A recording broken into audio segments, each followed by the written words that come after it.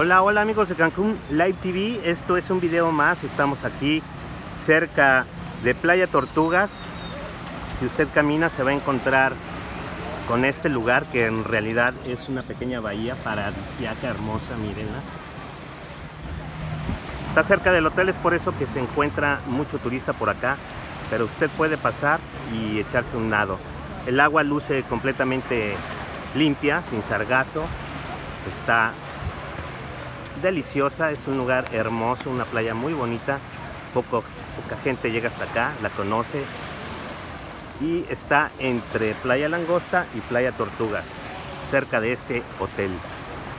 11 de junio del año 2022, seguimos aquí en Cancún,